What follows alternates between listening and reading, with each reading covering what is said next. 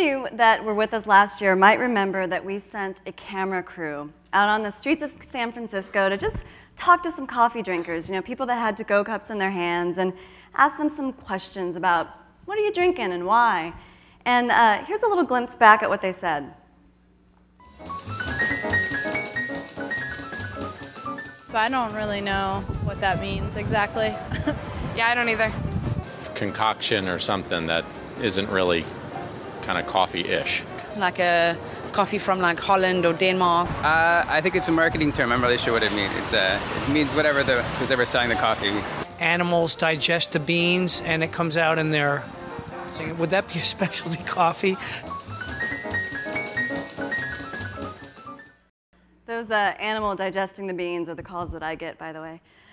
Uh, anyway, those responses illuminated a challenge for us. I probably don't need to point out that we are the Specialty Coffee Association of America. We are the specialty industry, but there seems to be some confusion over that term. But we know something is resonating. We know that the market is responding to quality, and we know that many coffee drinkers are paying premiums for a product or an experience that they must perceive as special. So who are these customers, and exactly what are they buying? Those are the questions that form the basis of this research. Who is the specialty coffee consumer? What are they buying? What are their perceptions of specialty? And what motivates them? So we did a total of six focus groups in Portland and Los Angeles. And that is a limited geographical set, but our aim here was really to just profile a set of specialty coffee drinkers and um, develop hypotheses for further research. So we felt these were good, dense, and contrasting markets to begin an inquiry. And then, in addition to these focus group discussions, each participant was given an assignment. They had to prepare a collage about what great coffee means to them. And it looks something like that. so that gave us an opportunity to evaluate not just what they said, but what they showed. And all of the images throughout this presentation are from those collages.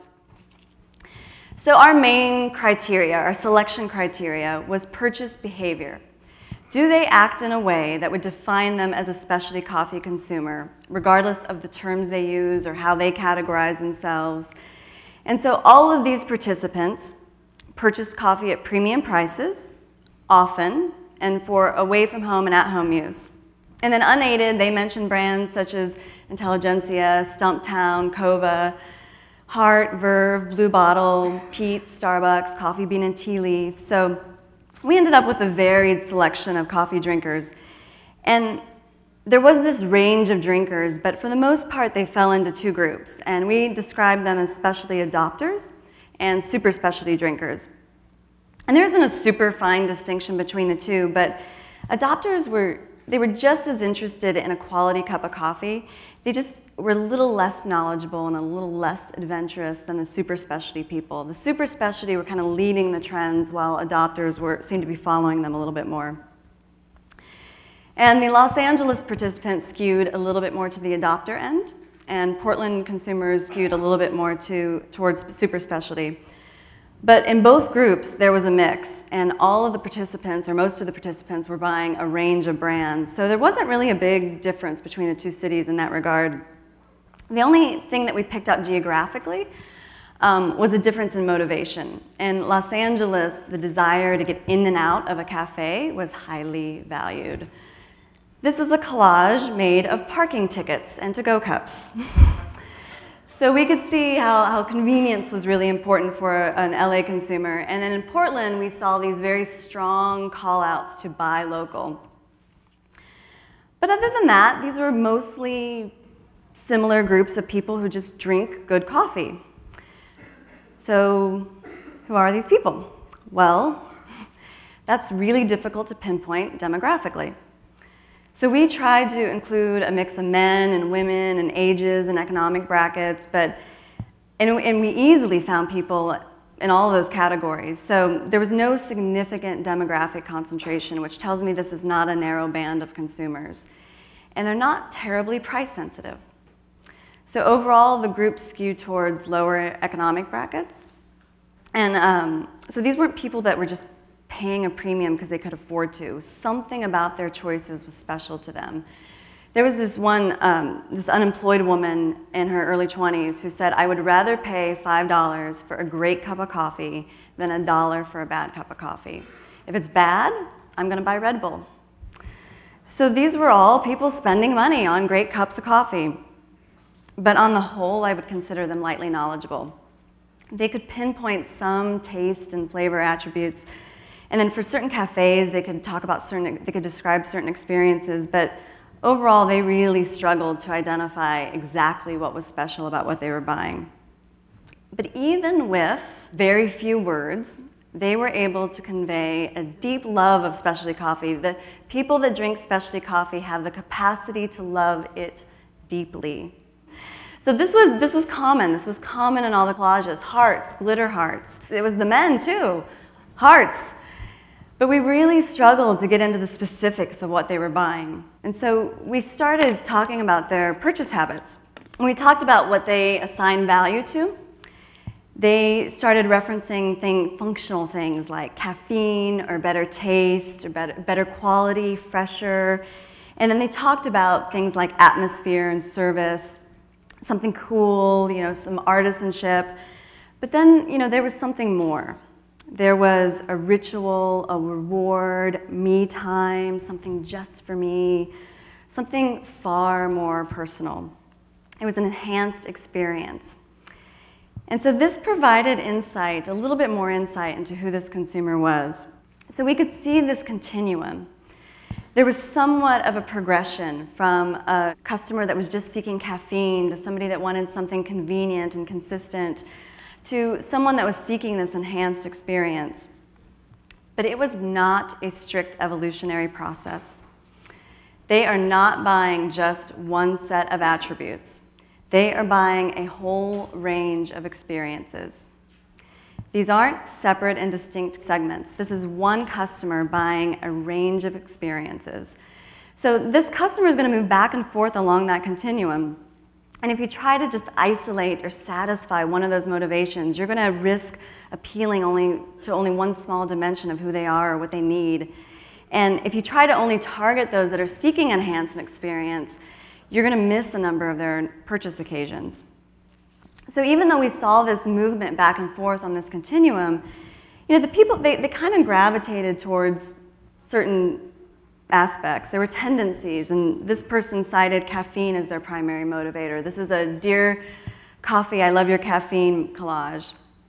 And then adopters seemed to be a little bit more comfortable with national brands. They valued cleanliness, consistency, speed. This is another to-go cup collage. But nearly all of these coffee drinkers, they viewed coffee as a gateway to an enhanced experience. This person described a great cup of coffee by what it makes her. Bold, inspired, intelligent. And it's this heightened sense of importance around a great cup of coffee that the psychological and emotional drivers that were very clearly the access points for brand loyalty. Although I described this movement back and forth along that continuum, favorite brands absolutely emerged. And they weren't their favorites because they delivered caffeine better or because they were more convenient. They were their favorites because they were getting some kind of enhanced experience or they had some kind of connection. And there didn't really appear to be any great difference between, in, in, sensory or intellectual capacity, between those who had strong attachments to certain brands and, who the, the, and those who just kind of tended toward the convenience end. The, the differences came down to exposure. So those, were who, those people who were more enthusiastic about their brands had just been to a few more places, tried a few more things, learned a little bit more about our processes, the more information that they had, the more developed their preferences were. So it's exposing them, not educating them. And in fact, they were very clear. They do not want somebody to tell them what they should like. But they're very interested in learning about what they like. They're very interested in learning about their own tastes and preferences. Except at home. There was a big difference when we shifted the conversation to at home. So while we, we observed this range of interests and things that people connected to emotionally, at home those behaviors narrowed. There was a significant difference between their away from home habits and their at home habits. So with their away from home purchases, they talked about pour over techniques and perfectly foamed milk and freshly roasted and exchanges with their barista, and then it kind of dropped off. So when we talked about their at home experience, it was like, nah, whatever. And there was a, a very big drop in their brand selection. But their appetite for quality didn't change. They still wanted quality, they just weren't seeking the, the range of experiences or the heights of quality that they were seeking away from home. The primary motivator at home honestly seemed to be whole beans in a bag. And some of that can be explained by availability. They were just picking up what was ever at the grocery store. And some of it was by expectation. They expected more out than they expected at home. And there was certainly some conversation about the morning rush, but it wasn't all about those things. There was a detectable insecurity about making coffee at home. It was insecurity, not lack of interest. They were just saying that coffee is a very, very important part of my day, helping me to rule the world. And I don't want to mess that up. And so I believe there's room to edge them out of their, their comfort zones and make their at home experience more interesting. It does have to be accessible, but not to the point of oversimplifying. I think if, if the steps are simplified too much, if, if it starts to look like something you read on the side of an instant cake mix box, then you might make it safer for them, but you would strip away anything special. But I certainly think that we can just demystify the process and offer different options for different occasions, which is exactly how they're buying away from home. So, up until this point, the conversation that we'd been having was about great, great coffee in general. We, we didn't want to introduce terms like specialty because we wanted to extract their language, but finally we, we got to the issue more directly and we asked them, what are your perceptions of specialty? And here's a little clip from that, one of the conversations. What does specialty coffee mean? It's just a better quality. It's just, it's like you can rely on the fact that somebody who cares about coffee, you know, like helped make it what it is. Has a reputation for having high quality. See, I still maybe I'm a little old school. I think of specialty coffee as like you know like the Gevalia vanilla nut or the Millstone okay. flavor kind minted. Yeah, yeah, like the flavor kind of thing. yeah, I don't think that that's necessarily mutually exclusive. I mean, I think Gevalia has a specialty sort of reputation for exactly what Scott's talking They're, about. Yeah, part of the specialty market you know, it's, it's funny because my first thought was not in a can, not Folgers, not Hills Brothers, mm. not Yuban. But then I immediately thought if Folgers, Hills Brothers, or Yuban decided they wanted to break into the specialty coffee market, those brands wouldn't necessarily ring true as specialty coffees because they'd had such a connotation with being the old school not quality coffee. Right. So if it was like Folgers specialty coffee, there's a bit of a disconnect there. It's kind of. And I also think is like specialty coffee would be a term Folgers would use. Like I don't think like Stumptown would call their new brand yeah. a specialty. You know, like that's interesting. Yeah, it's not an exclusive term. So there were some notes about quality, but there wasn't a real precise definition. And that woman at the end, she kind of faded out. But what she was saying is that the word is an exclusive. That specialty can mean a whole lot of different things. So we kept digging into it, and, on a product level, they expressed appreciation for specialty attributes, things like Arabica, bean quality, roast level, freshly roasted and brewed, body, flavor. You know, they, they all had a general understanding standing of what a better cup of coffee tastes like, but they, there's certainly an opportunity to help them define better. And then also when they talked about the meaning of specialty, the rituals around specialty were very important to them. They reveled in the cafe experience.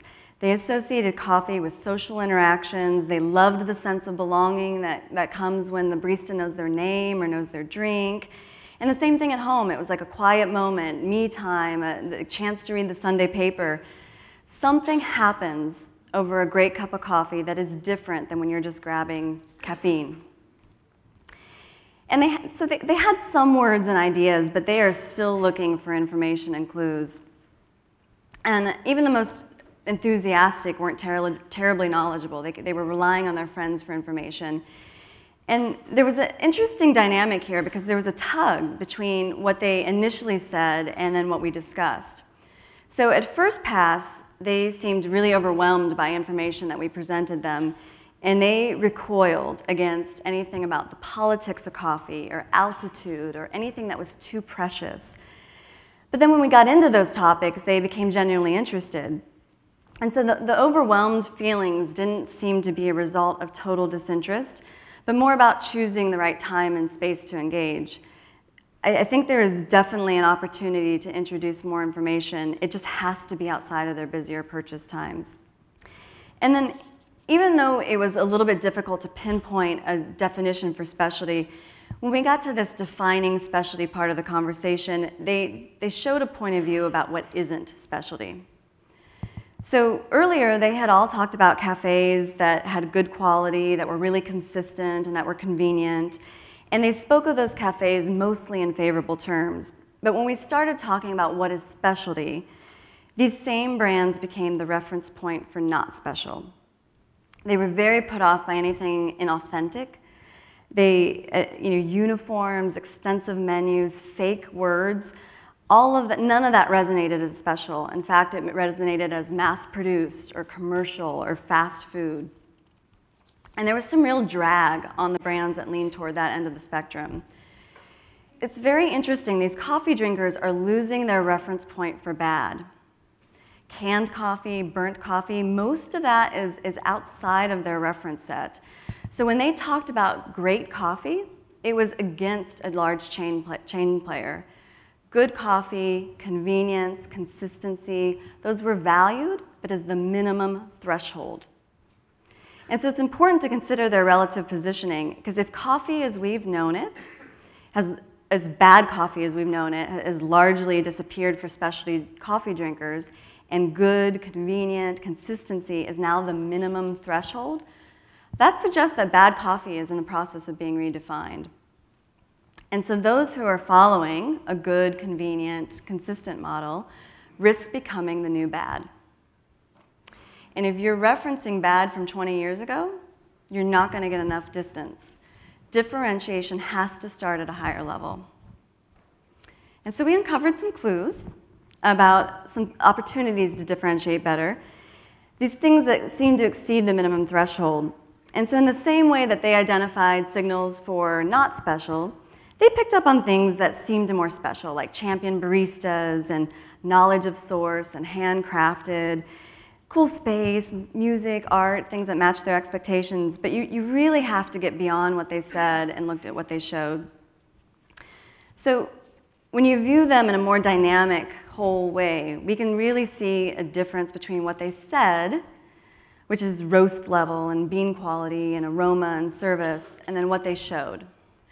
So, to this person, a great cup of coffee is going to make her better, stronger, faster, and more relaxed. This person cut out tiny bits of paper and meticulously glued them and layered them to show how special a great cup of coffee makes her feel. This person's going to have a great cup of coffee and take some names. This person's going to be liberated. And to this person, a great cup of coffee puts him on the road to success so he can paddle a raging river and climb a burning volcano. they showed a multidimensional, nuanced, powerful, and transformative experience that is comforting to them as a best friend. We heard that over and over again. Coffee is their best friend. It is their soulmate, it's their kindred spirit. They are buying a relationship. And so when you start to understand the relationship that they're seeking, you can get a little closer to their definition of specialty. Coffee is a deeply personal experience to them, and they're looking for a commensurate experience. To them, specialty as a concept is part quality product and it's part cool experience, but it's a very big part emotional connection. Look at their semiotics hearts, more hearts, love, sex, more love.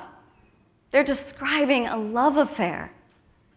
So imagine, imagine how you would describe somebody that you're just falling deeply and madly in love with?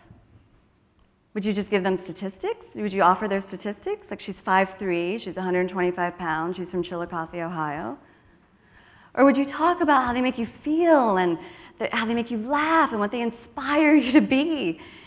And if we don't get that, we really risk losing, not ever making a connection with these co consumers. They're asking for inspiration, and we're giving them issues.